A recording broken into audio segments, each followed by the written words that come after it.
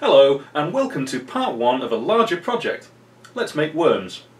I'm sure most of you are familiar with Worms. It's a side scrolling game where you have teams of worms that battle each other with trajectory based weaponry. The landscape in Worms is randomly generated each time, and we can see we've got here the green landscape versus the blue sky or non landscape. And I can press the M key to randomly generate terrains as necessary using the Perlin noise function. And as this is a multi-part video, we won't be looking at the entirety of Worms in this intro demonstration. Instead, I'm going to show you what we're going to achieve today, which is the addition of units, which you can see have collision detection and response with the terrain. And we'll also add uh, arbitrary explosions, so I can click somewhere and it causes an explosion, and also damages the terrain with a, with a crater. And uh, if you cause an explosion near a unit, uh, it blasts them around the screen. Very nice. And the final part we'll be adding is uh, sequences and events. So here we're creating a weapon object which when collides sort of combines all three things together. Now even though I'm splitting this project up across several videos, there's still quite a lot to get through, so I'm going to be going through at a slightly quicker pace than normal. After all, a lot of the techniques we see in this video are based upon techniques I've already talked about in previous videos, so it's all coming together to form one nice project at the end of the year. And of course, I'm going to be using the OneLoneCoder console game engine. And I've already taken the liberty of just deriving a quick base class from this. It does nothing other than implement the onUserCreate and onUserUpdate functions. And in my int main, I'm constructing a console which is 256 characters wide by 160 characters tall, and each character is going to be 6 by 6 pixels. And just a quick interruption to say a big thank you to all the people that have joined the Discord server. There's almost 100 lone coders out there now. And if you're interested in joining in and getting involved in the chat, there's quite a lot of talent on that chat server then I suggest you look at the links below for an invite to the Discord server. Now, it may be boring, but it is very important that with any big project you form a plan before starting. And Worms is no different. I know that I've got randomly generated terrains. And these are randomly generated to the pixel level. And given that Worms is a game about accuracy, I think it's important that we have pixel level collisions. So that's the first requirement. Worms is a game all about trajectories. So, assuming you've got a little unit here and he can fire his weapon across the terrain. The terrain gets altered and then causes multiple more trajectories for debris and possibly other units. But when debris lands on the surface, it doesn't just immediately come to a stop it carries on bouncing a little bit. So we know we're going to need a very simple physics engine. Well, both of these are hard. Let's do what we can to simplify them, yet keep them working in a way which is suitable for gameplay. And the first approximation I'm going to make is that even though sprites are traditionally rectangular, I'm going to assume that all objects in my physics engine are circular. And so I've got a unit object, a debris object, and even though we didn't see it, I've got a missile object. Now in a lot of games, when you want to do collisions with maps, you do things like make assumptions that the map is in fact created out of straight lines, and so then doing circular with uh, straight line collisions is quite simple, or circular with polygon collisions is quite a simple thing to do. But that's not how the original Worms works at all, and we want to try and retain the look and feel of that game. So we will have to do a per pixel collision detection routine for a circle. And although we won't do it in this video, circle-circle collisions are actually quite easy to do, and may be useful, for example, if we want units to knock other units. As you can see, there's quite a lot to do, but I'm going to let object-oriented programming and polymorphism help us out. Everything that can move in my game is going to be derived from a class which represents a physics object, and this class will be abstract, but it'll contain useful information such as position, velocity, acceleration, and a flag that represents whether it is moving or not, a stability flag. I'm also going to define a pure virtual method which makes this object abstract draw, which will be used by subclasses to draw themselves on the screen. The missile and debris subclasses are going to be represented by wireframe objects. using the code that we made for the Code It Yourself Asteroids video. And this is because I want the missile and debris to rotate to represent the angle it's travelling in. The third subclass, Unit, or Worm, is going to be represented by a sprite. I don't need these to rotate. And so each subclass will implement its own version of the draw function using the correct technique required. This is a simple yet powerful use of polymorphism, because I don't need to maintain any object management code. In fact, all I'm going to do is have a list of the objects, which I can then iterate through, calling the draw routines, and updating the physics. But let's start at the beginning. Let's create and draw the terrain. As the terrain needs to be accurate at a per pixel level, I'm just simply going to create a map. And this map is just a two-dimensional array, uh, in this case 1024 by 512 pixels, of unsigned chars. At the moment the map is just going to be filled with zeros and ones. It's going to be 1 wherever there is land and 0 wherever there isn't land. You might think I could just use booleans for this. However, later on I might want to add different types of land or different colours to give it some texture. And so in the onUserCreate function, I'm just going to allocate the memory for that two-dimensional array. And then use the memset command to clear it all to zero. Why not? I'm going to separate out the map generation to a create map function. Because I still want the ability to scroll through maps and interrogate them and find ones that I like. Now I also know that my maps are going to require Perlin noise, so I'm just going to cut and paste absolutely character for character from the Perlin noise video, the Perlin noise 1D function which just as a reminder takes account of the number of elements in the array, a seed array full of noise, the number of octaves we're interested in generating, uh, and the bias, which uh, was how do the octaves relate to each other. And of course we have an output variable too. I'm not going to go into what Perlin noise is, please click on the link above to find out. But to use the Perlin noise function, we need to prepare some data. We need a one-dimensional array which represents the surface that is generated, and this array will be filled with heights. We also need a second array which is going to be filled with our noise values. I'm just going to use the rand function to generate some noise. I'm going to hack the Perlin noise just a little bit by setting the first value to 0.5. Because my Perlin noise operates between 0 and 1, this means that my first element will be halfway up. It also means that the last element in the array will be halfway up because the Perlin noise samples at a fixed interval. And this means that my terrain will both start and end halfway up the screen. And this just adds a little bit of consistency to the terrain generation. Otherwise we could have terrains which start at the very top of the screen and offer no place for the, the players to fight. Or they could operate at the very bottom of the screen and actually have little tiny islands and bubbles with no land for the worms to walk on. Now we can call the Perlin noise 1D function. Now don't forget that the f surface variable is one dimensional, but I've got a two dimensional bit map representing the terrain. So instead, what I need to do now is scroll through all of the elements in my map and compare them to the heights in the surface array. Now all of my arrays assume that top left is 0, 0. And given that land is usually below the sky, I'm therefore checking that if the current pixel in the map is greater than the corresponding pixel in the surface map, set it to land. Or else, leave it as sky. And that's all that's required. I'm just going to tidy up those two dynamically allocated arrays. Just so that there's something there at the start, I'm going to call the createMap function after I've created the map array in my onUserCreate function. The onUserUpdate function for this project is going to get quite complicated. And occasionally we're going to have to throw in code just for debugging and checking and this is one of those cases. I'm going to make it that whenever the user releases the M key, it's going to call the create map function again, so I can create new maps whenever I want. Drawing the landscape terrain is quite simple. I just iterate through all of the pixels on the screen, given by screen width and screen height, find the location in the map, and choose whether to draw it as sky or as terrain. But we're missing one important thing here.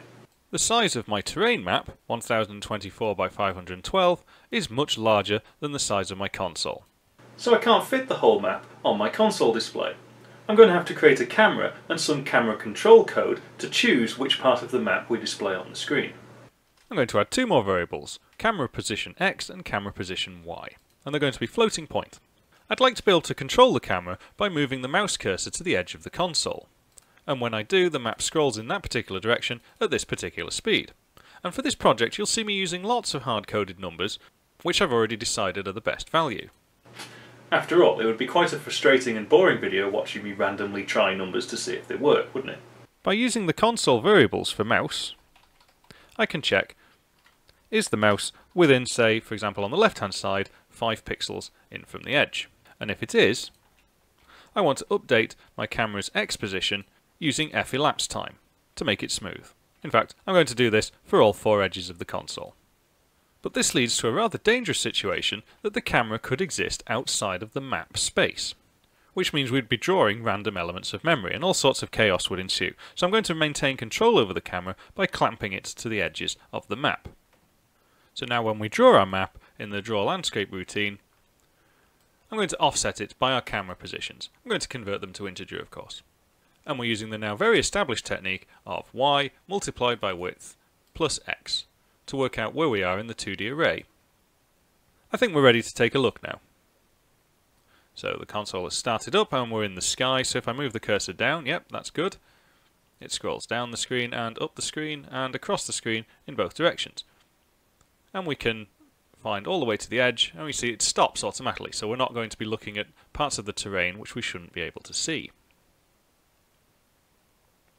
Very nice. And if I press the M key, I'm not moving the mouse, but I'm generating different terrains each time. What we should notice, though, is that the terrains all start from the same point.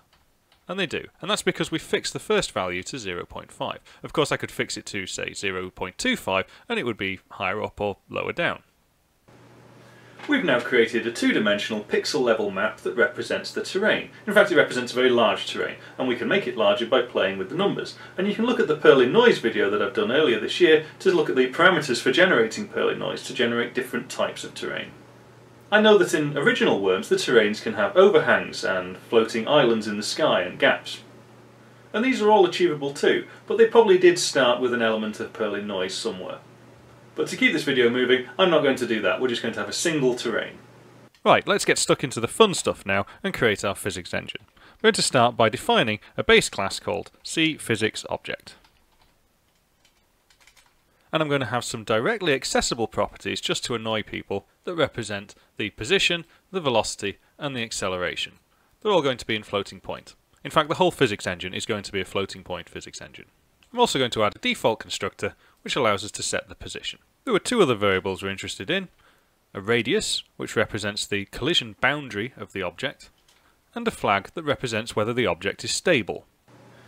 Stability is quite an important thing to know in a physics engine. Firstly, if an object is stable, we don't need to perform more computation on it. If it's not moving, we don't need to do collision checks, for example. But in our game it's also quite important too. Let's say the worm has just been blown around on the terrain, and he's finished bouncing around, how do we know when to pass control on to the next worm? In the plan we said that C physics object was going to be abstract because it defines a virtually pure draw method. This draw method takes some parameters. The first being a pointer to the console game engine. And this is quite important because my physics object sits outside of any of my console game engine stuff. Yet I do want to exploit some of the drawing routines, such as drawing wireframe models and sprites. So this is a way of getting the instance of the game engine into the object code. I've also got two other arguments, offset x and offset y. As you can probably guess, these are going to be related to the camera, and not the object's position in the world space. To help debug the physics engine, I'm going to create a dummy object, which inherits from the CPhysicsObject. I'm going, in fact, I'm going to call it CDummy.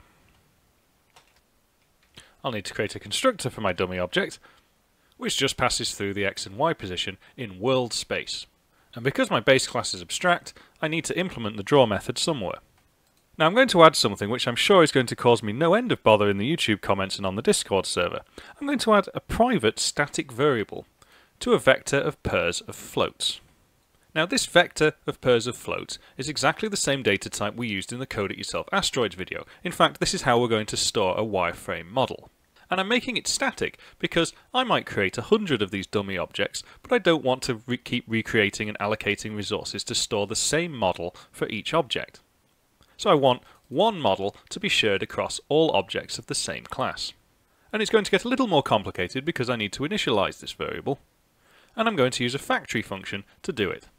So when the program comes around to defining exactly what VecModel is for the CDummy class, it calls the defineDummy function.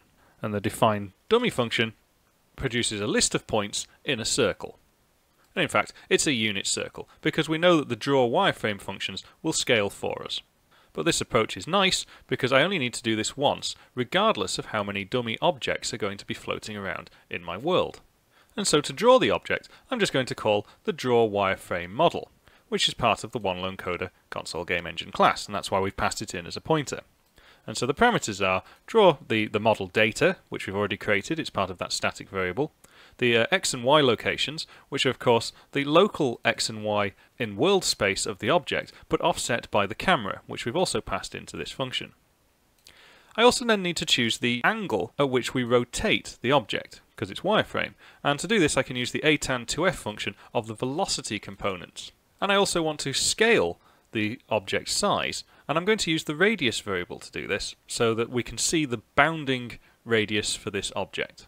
And finally, I'm going to use white characters to draw. And for the One Lone Coder channel, this is some pretty advanced C++ stuff going on here. Let's now start adding the objects into the game, and so I'm going to create a list of C physics object pointers. And there's a reason that they're pointers. If they're not pointers, and because the C physics object is abstract, I'll get a compile time error. I can highlight down here, C physics object cannot instantiate abstract class. And this is what allows us to add things to this list which aren't necessarily directly C physics objects. They are subclasses of it, so we can add worms and units, debris and dummy objects to this list and they'll all get treated in the same way. But there is a little caveat to this, which we'll see later. I want to see if our drawing routine works, and generally does our object hierarchy work. So I'm going to make it that whenever the user presses the uh, middle mouse button, which is 2 in my setup, I'm going to add a dummy object to the list. So I've allocated memory for the new dummy object and I've set its starting position to be wherever the mouse has been clicked. But don't forget to include we're offset into the world. And the mouse position is relative to the console position.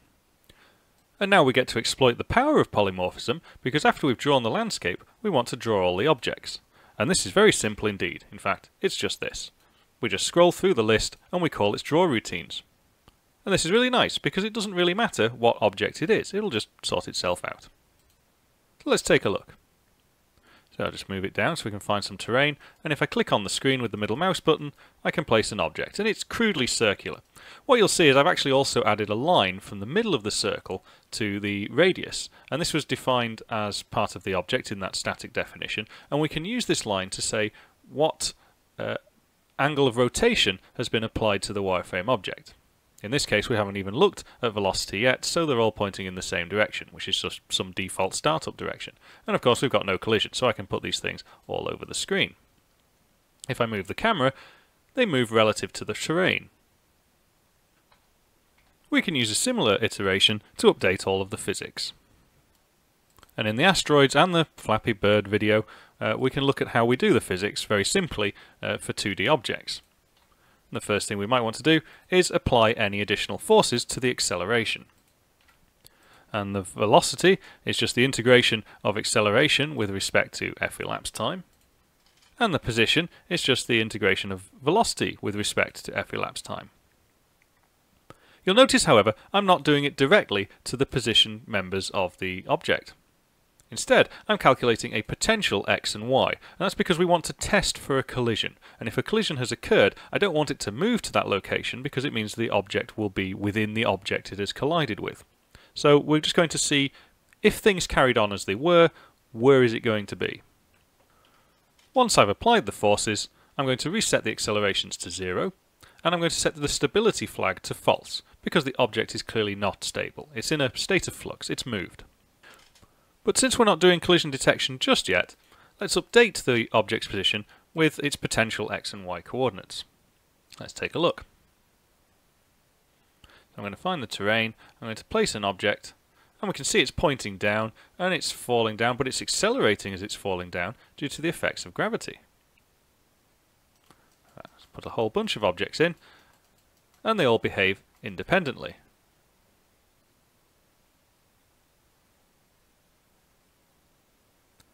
Very nice, although a bit slow. Physics engines and graphics engines rarely coexist at the same speed. And proper physics engines, not like this one, really don't like having changes in time step. Now I know that with the OneLoneCoder console game engine, drawing to the screen is actually the slowest part, and that the physics at this level that we're calculating them at anyway will really take up no CPUs at all. So for every frame of graphics update, I'm going to do 10 frames of physics update.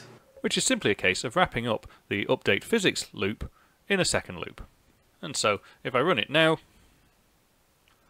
find the terrain again, scroll it down, you see the objects fall at a slightly faster pace because there's 10 times more updates happening. Let's consider how we're going to handle the collision detection.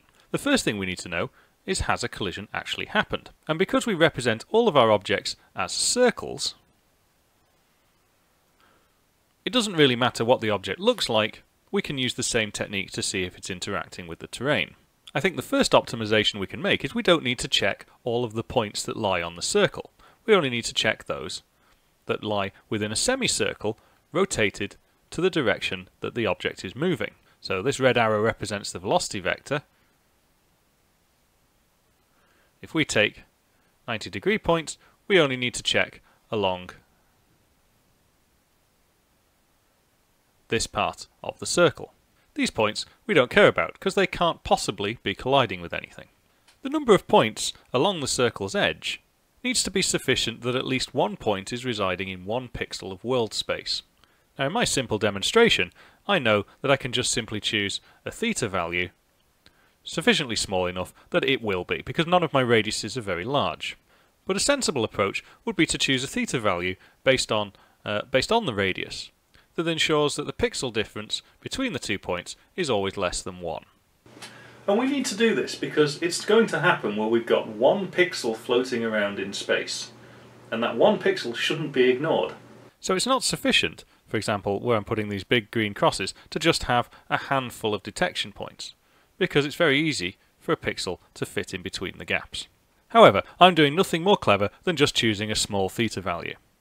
Once the object has been moved, we've calculated its potential new location, and we can then compare the red dots along the circumference with the world map to see if collisions have occurred. And we can see, yes, there's a collision here, here, here, here, here, and here. If we create vectors to these positive collision points, and sum them all and invert them, we end up with a response vector. And this vector approximates the direction that the object needs to move to escape being in collision. But it also has one bonus feature. It also approximates the surface of pixels that have been collided with. In fact, we can assume that the response vector is indeed normal to the tangent of the terrain surface at this point of collision. And so once we've discovered the normal to the collision point, and we know the trajectory of the object coming in, we can calculate a reflection, very simply, which is just incident and reflection mathematics. We'll see that in a bit. Let's add in collision detection. And this is just collision with the map, not collision between objects. And the first item I'm going to need is the actual angle in radians uh, derived from the velocity vector, as we saw for the rotation of the wireframe objects before. I'm also going to create an x and y component of my response vector. Once I know this angle, I'm going to create a for loop which iterates from one side of the semicircle to the other. At, in this case, a fixed step size, but as I've just been describing, you could probably do something more clever here to ensure that all of your points are within a unit distance from each other. Using sine and cosine, I can take the radius of the current object, plus the angle of the point being tested, and the potential new location to work out where in the world map I'm testing for a collision, and I'm going to call this test pos x and test pos y. So these points are the points that lie along the semicircle that's been rotated to the direction the object is moving. I'm going to be reading from memory, so I want to make sure I've got control over these points. I'm going to clamp them to the size of the map. And it's just simply a case of reading that location from the 2D map array. And I'm going to assume that anything that isn't zero, so anything that's not sky, is terrain, so that's a positive collision. And so I'll sum that point into my response vector. I'm going to just create an additional variable called collision. And I'm going to set that to true here when a collision has occurred. Simply because I don't need to do anything further if a collision hasn't occurred. So if a collision has occurred, I want to respond to it. Else, I'm going to allow it to use the new potential positions. Now in other physics engines, collision resolution is a really fundamental part, and it has to be very accurate, and I'm not striving for accuracy here. It's a game of worms after all. I know that in my physics engine, objects aren't going to be stacking on top of each other and resting on each other and continuously interacting with each other, so I just want to emulate the effect. I'll break the rules of physics a little bit to make things simpler for me. For example, when a collision occurs, I'm going to set my object to stable, and I don't allow it to update its position. This means it will be the case that the object technically has collided with thin air, only its potential location for collision actually results in a collision, but I don't want the objects to overlap with the terrain.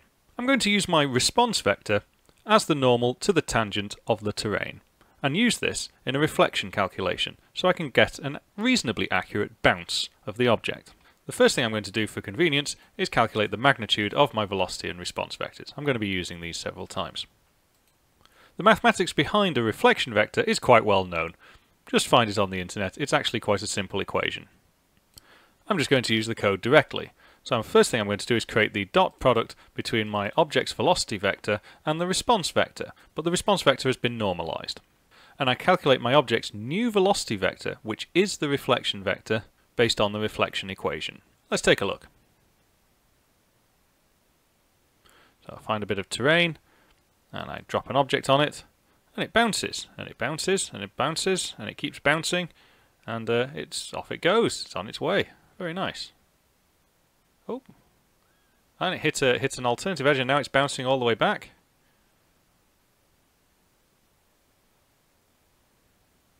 Very nice. In fact let's add a whole bunch. Let's get them going all over the place and you can see some are just bouncing directly up and down, and that's because there's not enough information in the area that they're hitting uh, to actually give them any curvature. It's just unlucky that they're finding the flats here. And this is exactly what I'm saying. This is just an approximation to a physics engine. It's good enough for a game of worms. But it would be quite an exciting game of worms because nothing is ever settling. I'm going to add another variable to our physics object, which emulates uh, energy loss, or friction in this case. And all I'm doing is taking the reflection vector and multiplying it by this coefficient. So it'll be a, a value between 0 and 1. Let's throw that in. And we'll set it to 0.8 to begin with, just as a default value. Now when an object collides, it loses some of its energy, potentially. You see it comes to rest. The bounces aren't as high each time. And also, now that the objects are bouncing around, you can see that the, uh, the wire mesh is being rotated to suit the uh, velocity direction. And it would seem in this video, it depends on the frame rate of the YouTube video, that two of these objects have become stable and two of them haven't. And this is because of the asymptotic nature of how I'm updating the velocity vectors. At some point I just need to simply say, look, there's not enough movement to actually count as movement. So I'm going to do that deliberately by looking at the magnitude of the object's velocity vector and seeing if that's less than a small enough amount, and if it is, I'm forcing it to true. Now we've got a rudimentary physics engine, let's create some debris objects and some explosions. The debris object is going to look very similar to the dummy object. So I'm just basically cutting and pasting the same thing. I've defined the class, and I've also created a static definition for the model. And in this case, the model is just a square, a wireframe square. And when the object draws its wireframe, it uses the dark green pixels to do it. So in this way, it's different to the regular dummy object. What I will add though is that when debris is created, its velocity vectors are assigned a random vector to make it shoot off in a random direction. And we'll test this by using the uh, mouse button to spawn debris. And this is where we see all of the effort that we put into the polymorphic object hierarchy pay off. Because all I need to do is add, say, 20 new debris objects to the list and the position I'm going to give them is the mouse coordinates in screen space translated into world space. I don't need to make any other alterations because the objects will draw themselves and the physics engine will look after them. So let's find the terrain again and I'll click the mouse and you can see it spawns a whole bunch of objects which just bounce around until they all run out of energy. Keep clicking and clicking and clicking. Loads of objects all being handled by the physics engine. Okay, the frame rate's taking a bit of a hit. The nice thing is they're all gathering in all in the pockets on the terrain. But there's a problem here. We can't just accumulate objects until the end of the game. The debris needs to disappear after a while. And so what I'm going to do is limit the number of times it can bounce. And once it hits this limit, it's going to flag itself for erasing. I think limiting the number of bounces an object can do before it dies is quite fundamental. For example, a missile won't bounce at all, but debris could bounce several times. However, a grenade may bounce. So I'm going to add some variables. Uh, bounce before death is the number of times the object can bounce before we set its dead flag to true. And if this is set to a minus 1, the object can just carry on bouncing. We know that the object must be bouncing if a collision has occurred, so we'll put our bounce detection in this. If the object has a positive bounce before death count, then we'll decrement it 1 and set the flag if it's set equal to 0. But this leaves us with a bit of a memory problem. Objects which are dead need to be erased, and so we should remove objects which have their dead flag set when we're processing them during the physics update. The nice thing about lists is they have the remove if function, which takes a very small lambda function as a parameter, and so it'll only remove the objects where the object contains a bdead flag which is set to true.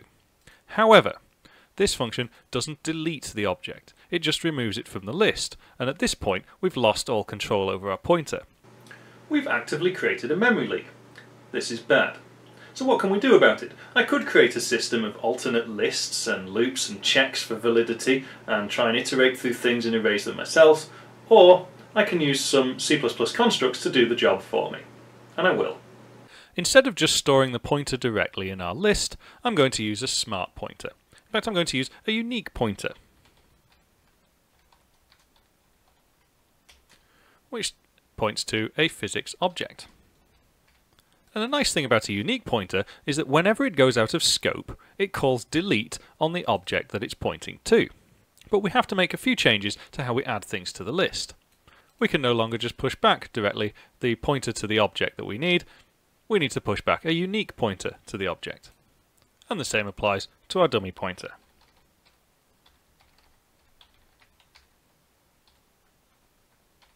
We'll just also modify the remove if function in the list to accept a unique pointer instead. And the nice thing now is that as soon as the unique pointer goes out of scope, it's deleted. So as soon as it is removed from the container, as long as it has no owner, the delete function is called on our physics object, and this means we don't leak any memory. We need to make one more change to our C debris object, which is to add the number of bounces it can do before it dies. I'm going to say it's 5. Let's take a look. Let's find a part of the terrain, we'll launch an explosion, and we can see the objects disappear after they've bounced 5 times. Let's create lots of explosions, lots of objects, really hammer the frame rate, but eventually they all disappear and things go back to normal. Explosions seem to be one of the fun elements of this game, and I think we're going to need quite a lot of them, particularly when grenades explode, sub-grenades for example, and there's explosions all over the map. So I'm going to create a function which handles just explosions. And I'm going to call it Boom, and it takes a coordinate which is x and y in world space and has a radius which is the area of effect of that explosion. So we know that one of the things our boom function is going to do is spawn lots of debris. So it's just going to do what we did before on the mouse click, it's going to iterate through up to a certain number, just adding debris objects to our list of objects to process. I think probably the radius is a, is a good indication of how much debris we should create. So for small explosions which have small radii, we generate few debris objects. Whereas big explosions, we generate lots but I also want to affect the other objects that are nearby. I want to knock them about a bit. So I'm going to have to iterate through all of the other objects to see if they are near to where the explosion is happening. And this is a very simple calculation, it's just Pythagoras' theorem. I take the explosion location, the object location, and work out the distance between them. And if the distance is less than the explosion's radius, then the object gets its velocity updated by the distance between the two objects. So uh, an object which is very close to the explosion gets a velocity boost larger than an, an object which is slightly further away. I'm also going to set the stable flag to false, because, you know, it's just been exploded. I will make one little security check here, which is to make sure we don't have a divide by zero, because then potentially we're setting our object's velocity to infinity, and it will be blasted out of space and time. And this may confuse the player. So instead of launching the debris directly now on a mouse click, I'm just going to call the boom function and I'm going to borrow the uh, camera position variables from before. And we'll say that a little explosion has a radius of 10. So let's take a look and see if it interferes with other objects. Let's first of all place some units. There we go. and I'm clicking, it's causing an explosion, that's good. And if I click in this cluster of objects, we can see they get knocked about. And if, if I try and launch an explosion far away from the objects, it gets affected very little, but if I launch it in the middle of the objects, it gets affected a great deal, proportional to the size of the explosion. But we can see we're not doing any damage to the terrain. Given that our terrain map is simply a bitmapped image, I'm going to use the circle drawing routine to erase parts of it, i.e. I'm going to draw sky on top of the terrain in a filled in circle. And I'm going to use Bresenham's circle algorithm to do this. I've just lifted this direct from Wikipedia. They've even got it in C. But I have modified it slightly. Instead of using uh, put pixel to draw a circle outline, I'm using these coordinates to create a line, essentially a scan line horizontally across the screen, to draw a filled in circle. And just because I like using them in my videos, here's a lambda function which creates the filled in Bresenham circle. It just takes an x coordinate, a y coordinate, and a radius, all in integers, and this is in world space. So this is affecting the bitmap image that represents the terrain. And it is literally a cut and paste from Wikipedia with a small modification for drawing lines. So now I can create a crater, that's difficult to say, by drawing a circle of sky located around the world x and world y coordinates that came in as part of our boom function and specifying the blast radius. So let's take a look. And that works very nicely indeed. I mean, I can sort of create explosions within the terrain, which probably wouldn't be normal, but I can etch away at the terrain, it creates debris, very nice. One thing to try is now of course we can place an object and create an explosion underneath it, and the object reacts to the terrain. So this is a very dynamic terrain and physics engine.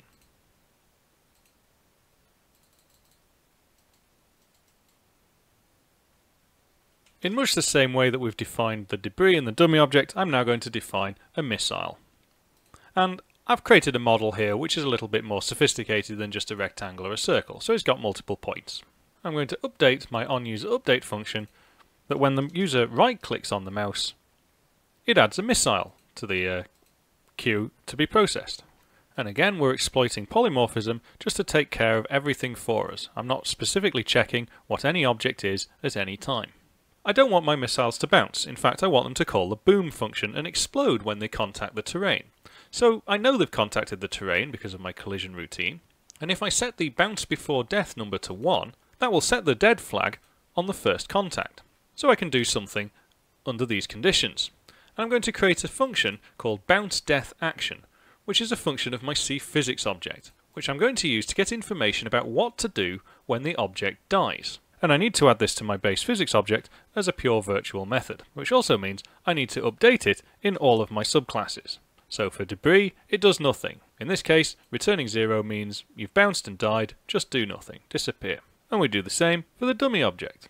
However, for the missile I'm going to get it to return 20, which means please call the boom function with a radius of 20. So going back to where we're checking for this, once the unit has been declared as dead, because it's bounced enough times, we look at the response of the bounce death action, and if it's greater than zero, call the boom function at that location. This approach allows us to create something like a grenade, which can bounce several times before exploding. Let's take a look. And so if I right click, we can see a missile falls, and when it contacts the ground, it causes a big explosion. Let's just put some objects in here too. And drop bombs on them, and we can see they get kicked around all over the place. Very nice. Let's now finally add our worm class. Except the worm class is going to load up a type of OLC sprite. I'm not going to use the wireframe model to represent the worm. And so in the draw routine, I'm just calling the draw partial sprite function of the console game engine. And of course, the units can bounce around, but I don't want them to die. Unlike the other objects that we've derived, I don't need a factory function because I'm just simply loading up the sprite. Let's change what happens now when the user right clicks. So instead of creating a new dummy, we're going to create an object of type worm. The object's location will be wherever we've clicked, I don't need this. Let's take a look. So by pressing the middle mouse button, I can now drop units onto the map, which are sprites, and you can see they sit nicely on top of the surface of the terrain. I've increased the damping factor of the sprites because I don't want them to be uncontrollably bouncing all over the map. but they do have a small response. And it's fine tuning like this that takes a bit of time. Let's drop some bombs on these guys.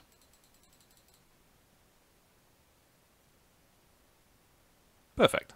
And so hopefully now you can see the advantages of using a polymorphic object-oriented system for handling your game engines. It just makes coding simpler and easier. So far, all we've created is a rudimentary physics simulation and some basic graphics. We'll look in the next part of this series at turning it into more of a game. However, I've uploaded the source code for this part already so you can start to study it. That's available on the GitHub. If you've liked this video, big thumbs up please. Don't forget to have a look at the Discord server, it's very active and uh, there's a lot of people on there offering a lot of help. Have a think about subscribing and I'll see you next time. Take care.